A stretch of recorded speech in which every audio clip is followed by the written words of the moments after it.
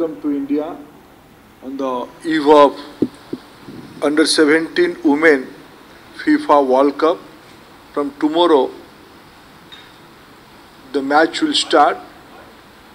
Government of India and All India Football Federation is the co-organizer of this event and uh, FIFA is in the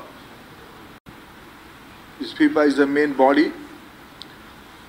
I welcome you in India on behalf of uh, my colleague, uh, Sports Minister Mr. Anurag Thakur. Due to his preoccupation, he could not come today.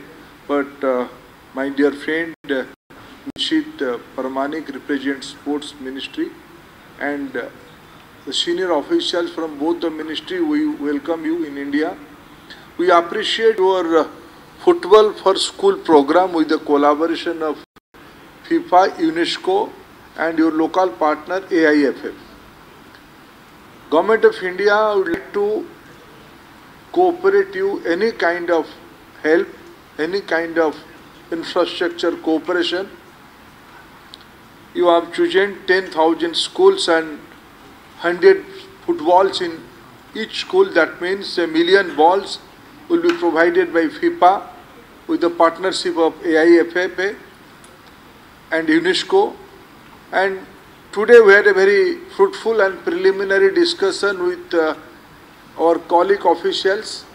Government of India will cooperate and this is in tune of our national education policy and the new sports approach of this government.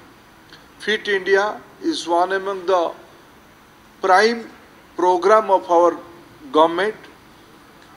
All kind of citizen, starting from school days to in adult age, everybody should remain fit. And football is one among the very important game to remain fit. And in the school area, in the school age, school going age, both girls and boys will participate in this program. And I appreciate your approach. Everybody will not be a professional footballer, but everybody will be fit.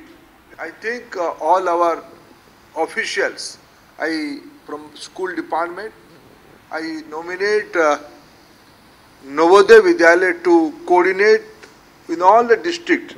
Let Navodaya Vidyalaya be the nodal agency for Pan India and our Sports Authority of India with its expertise and the physical education training will be partner organization from our side and will cooperate with FIFA, UNESCO and AIFFA to roll out this ambitious program in all part of country. Thank you for your gracious uh, cooperation. This is a win-win situation for both of us. Thank you.